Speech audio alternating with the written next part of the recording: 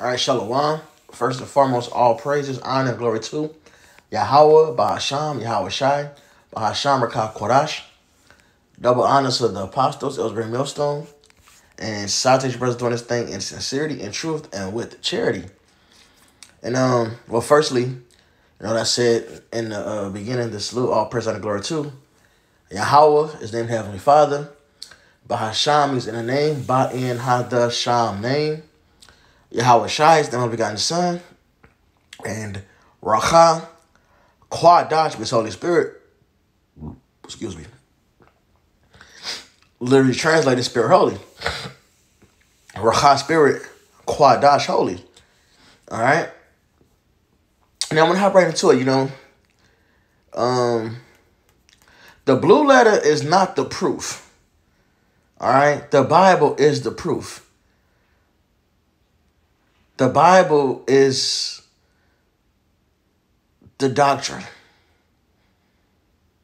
The Bible is what our faith must lie in. You know, we believe on Yahweh Basham Yahweh Shai. Um,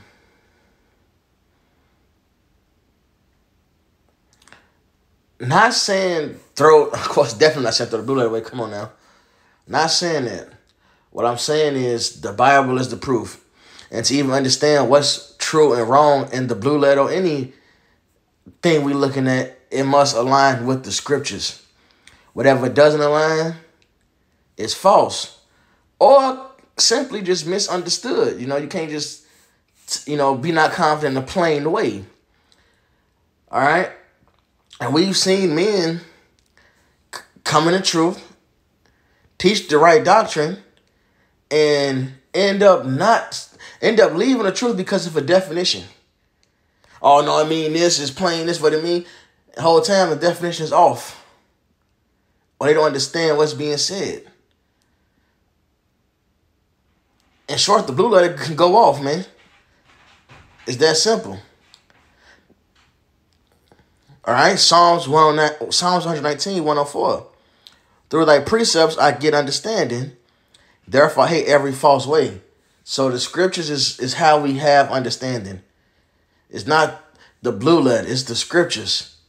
We have to use the spirit to discern what's wrong and the what's right and what's wrong in the blue letter. That's part of being a priest, separating the clean from unclean. And just for the record, you know, this uh Sirach 515, be not ignorant of anything in a great matter or a small.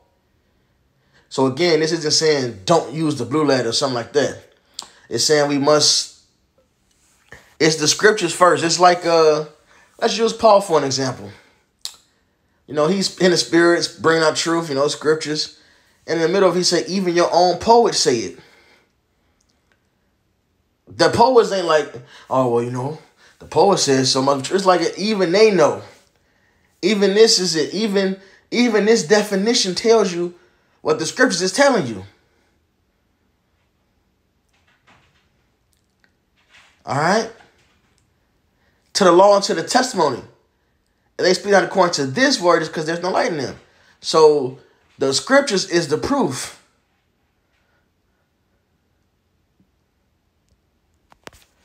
Okay?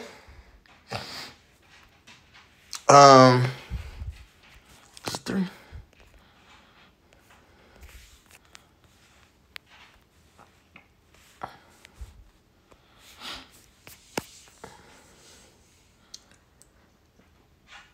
Second Timothy 3 and 15.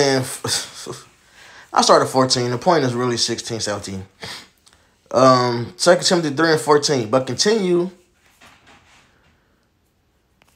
But continue thou in the things which thou hast learned, hast been assured of, knowing of whom thou hast learned them. And that from a child thou hast known the holy scriptures, which are able to make thee wise to salvation through faith which is in Mashiach Yahweh. So the scriptures gives you the wisdom. The scriptures is what makes us wise so we can receive salvation. The scriptures is what gives us understanding as we just read. All right. Cage.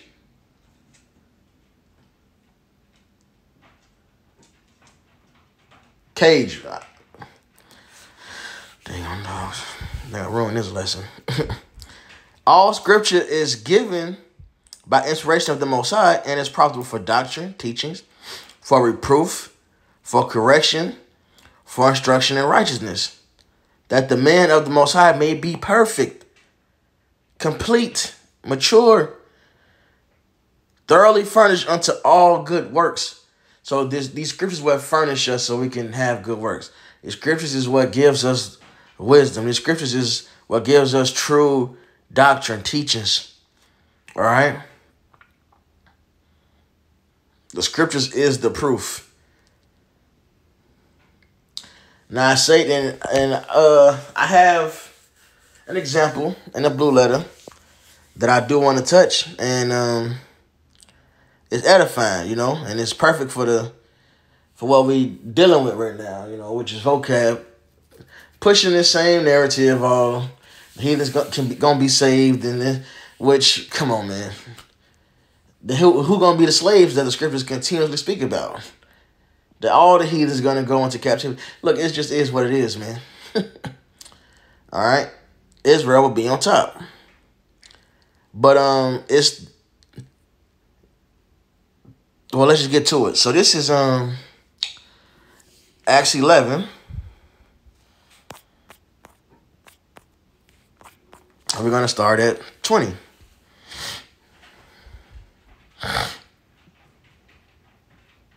We'll start at 19. Acts 11, 19.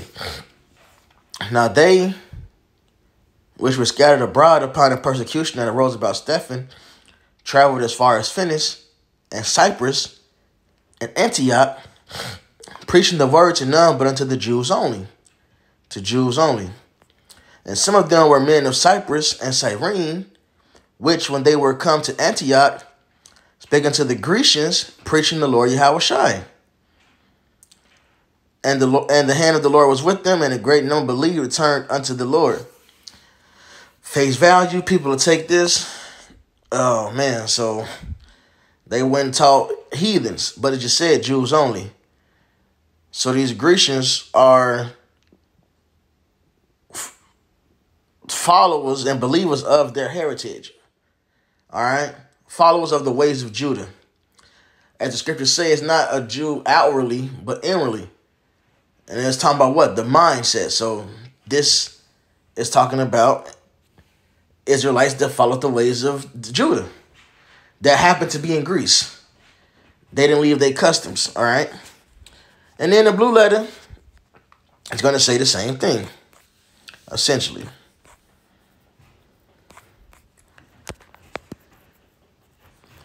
And the word is Hellenistes.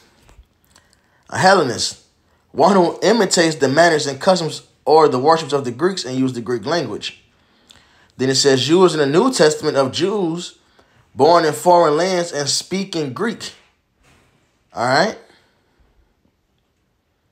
Used in the New Testament of Jews born in the foreign lands and speaking Greek. Grecian. This definition is more accurate. Okay? Because there's another word for Hellenian, I mean, for, for this definition here they give. Well, imitates the manners, the customs, and worship of the Greeks and use the Greek tongue. So this this is really more so about using the Greek language. You or at least you know who you are. You still keep your ways. All right, but you'll have the Greek language as it plainly puts right here. Now, there's another definition for those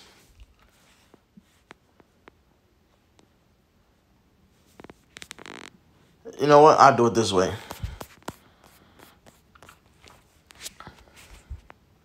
I didn't mean to do that.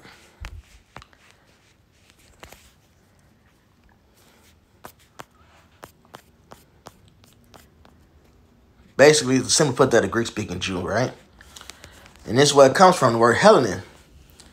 And it says a Greek either by nationality, whether native of the mainland or of the Greek islands or colonies so meaning, see, this way gets confusion because you have to put it in.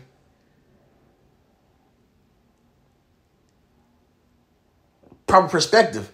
When you ask by national, you ask a, you can ask a, a Chinese motherfucker that's in America. What's the nationality? You can ask two of them. One to tell you Chinese American.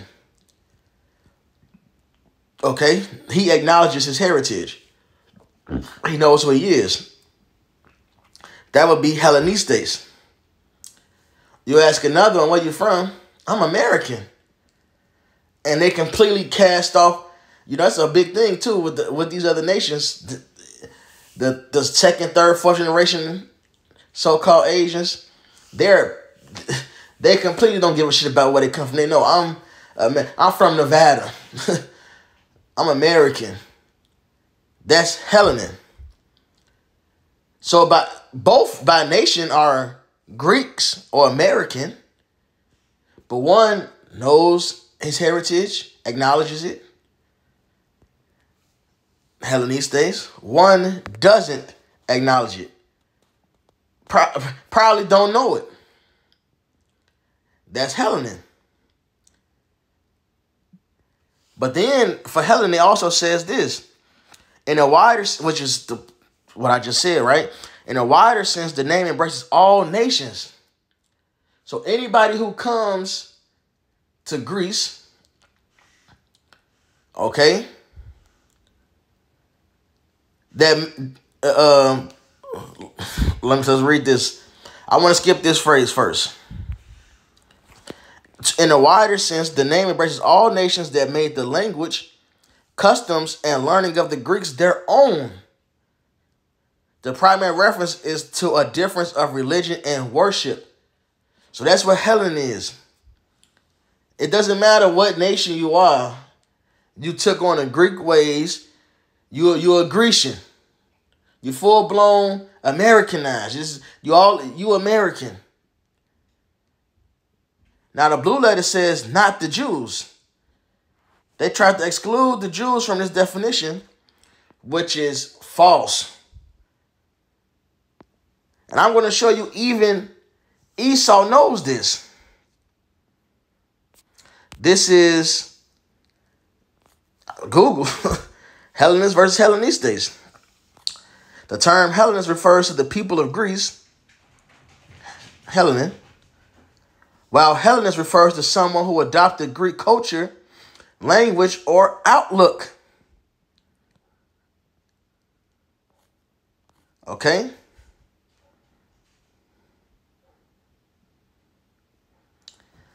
Hellenist. The term Hellenist comes from the Greek word Hellas, which means Greece. The Hellenists were not necessarily ethnic Greeks, so they weren't necessarily the seed of Japhet.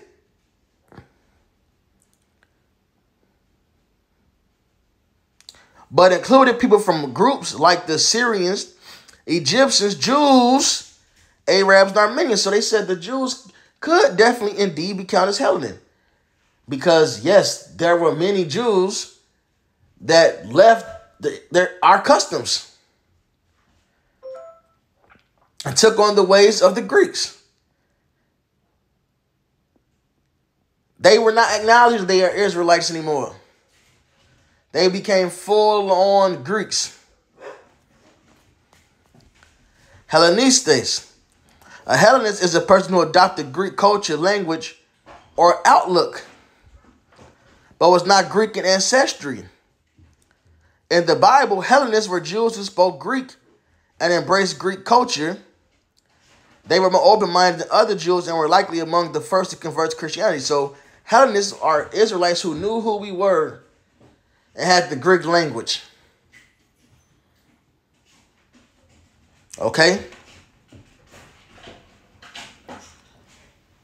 They had maybe they had a Greek haircut, had a Greek style of dress, but they knew who they were. They acknowledge that they are the Israelites. Okay? They believed in their heritage. All right? But this goes to show that you need the spirit to understand the blue letter. Because right here it says, in a wider sense, the name embraces all nations, not Jews. Now, this could be put here to deceive. Or it could just be the uh be not confident a plain way because remember to be a Jew isn't just to be born Judah. You have to follow those customs. So it can be saying a wider sense, the name embraces all nations. It, it, I mean, not the Jews that made the, not the Jews that made their language customs and learning of the Greeks their own. So it could have been put to say not those that knew they were Jews. It doesn't make sense. This is just going off. It's just going off. And here's the proof. Now we read that definition. That definition, you know, that's fine. That's great because it's true. But we know it's true because of this in the scriptures.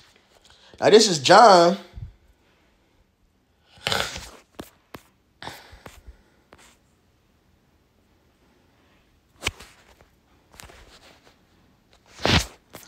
Seven thirty-five. Then said the Jews among themselves, Whither will he go that we shall not find him? Will he go until the dispersed among the Gentiles and teach the Gentiles? So they called the dispersed Israelites Gentiles. Oh, right, plainly, will he go to disperse among Gentiles to teach the Gentiles? They called the dispersed Gentiles. But we can um quick Bible comparison, you know. But really, I want to test the definition for that word. Gentiles right there.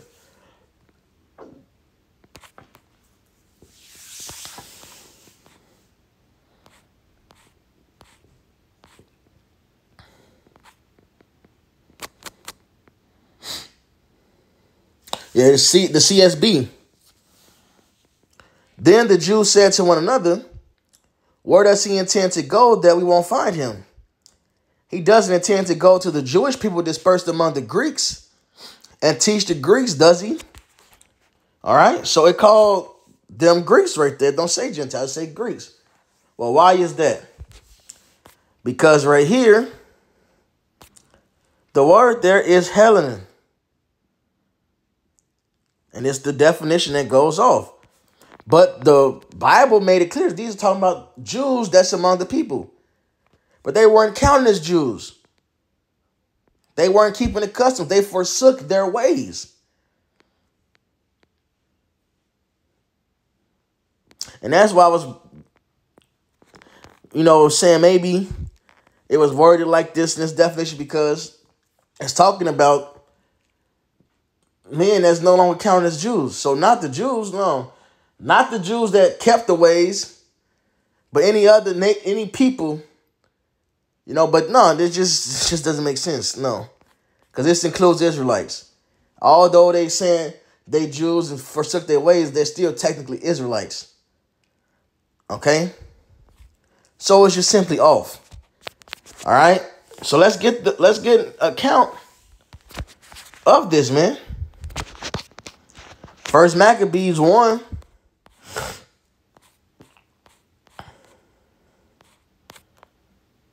11.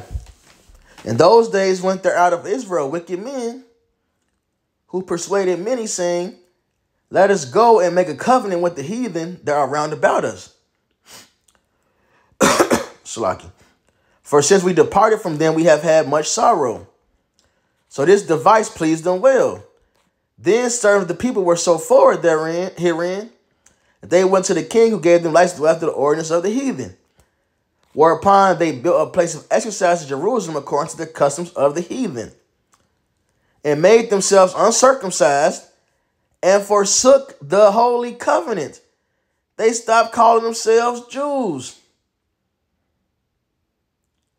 and joined themselves to the heathen, and were sold to do mischief. They became Hellenen. Now, when the kingdom was, but they're still Israelites by blood, but these are the Hellenen. They especially their children, they they want finna teach their children their customs. They they already passed that.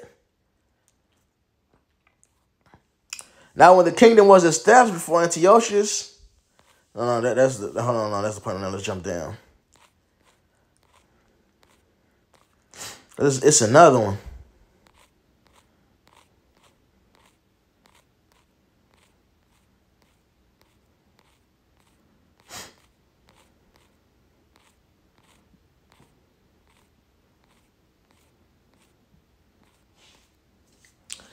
Um, 41. Moreover, King Antiochus wrote to his whole kingdom that all should be one people, and every and everyone should leave his laws. So all the heathen agreed according to the commandment of the king. Yeah, many also of the Israelites consented to his religion and sacrificed unto idols and profaned the Sabbath. So there were a lot of Jakes, Israelites, who became Hellenin.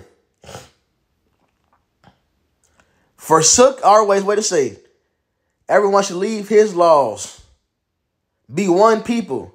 That's what it means to, to, to Hellenize something.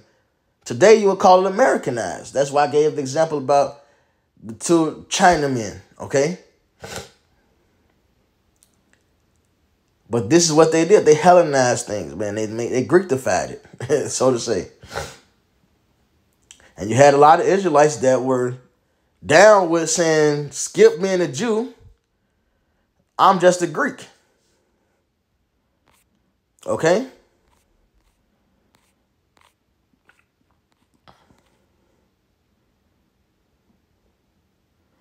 And of course, the Israelites still kept the customs.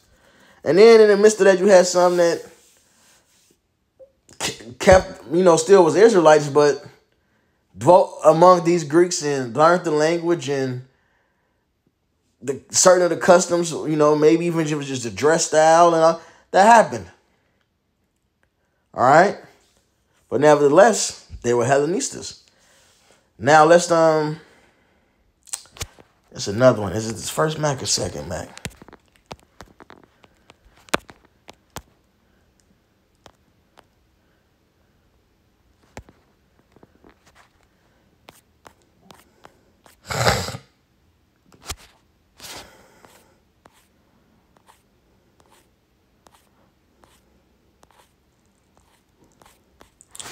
Believe it's second Maccabees.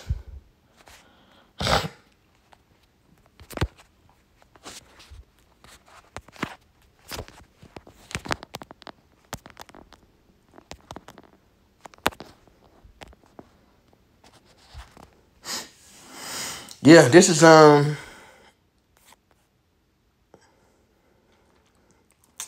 Second Maccabees four and seven. But after the death of Seleucus, when Antiochus called Epiphanes took the kingdom, Jason, the brother of Onias, labored under him to be high priest, promised unto the king by intercession three hundred and three score talents of silver, and of another revenue eighty talents.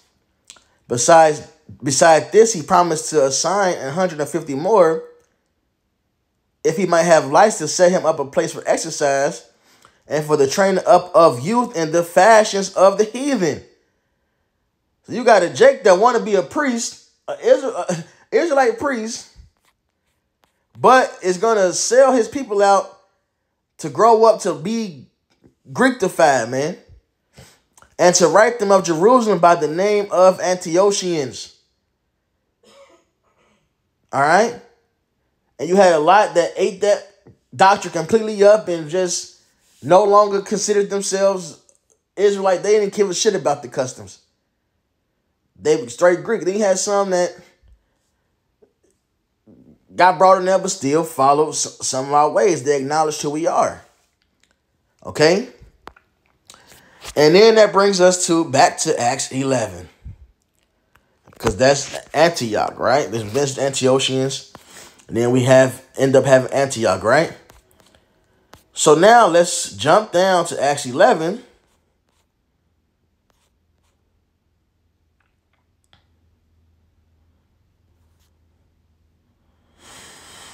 Mm. And 26. Then we get to the point. And when he had found him, he brought him unto Antioch Remember, up top it said they were teaching the Jews in these places. And then it called them Hellenistes. So they was they were Greek by nation, and they were living there, born there. they knew they were Jews, Israelites. And it says 26, and he had found him, he brought him unto Antioch, and it came to pass that a whole year, yeah, that a whole year they assembled themselves with the church and taught much people. And the disciples were called Christians first in Antioch. And then what did this say? They were more open minded than other Jews and were likely among the first to convert to Christianity. And it, it is not the religion of Christianity you see today, but the first believers of Yahweh Shai. All right. So they, but it lets you know that they were what? Israelites in foreign lands. Okay.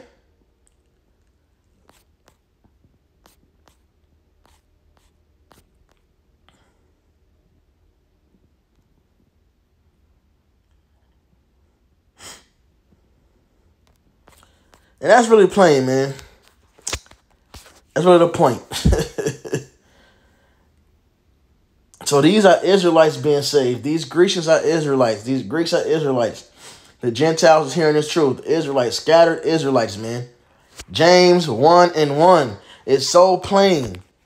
James, a servant of the Most High and of the Lord Yahweh Shai Mashiach, to the 12 tribes which are scattered abroad, greeting.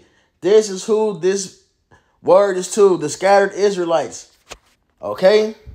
St. John 7.35, we read it already, man. You can't get around it. Tobit 13. Plain, this is milk.